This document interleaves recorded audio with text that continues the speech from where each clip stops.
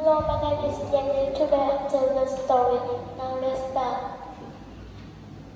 Emma and you are in their bedroom with their mother.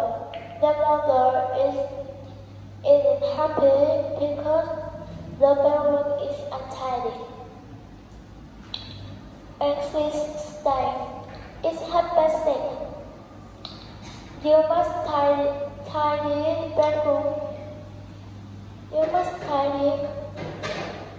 You must tidy your room, and then you can watch TV in your bed.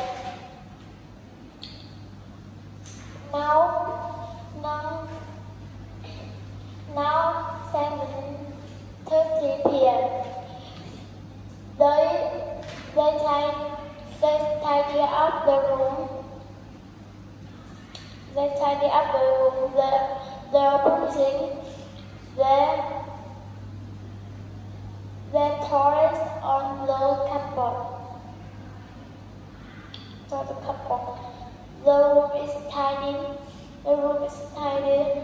At six, uh, at nine, at nine o'clock, you and they are they are watching TV in your bed.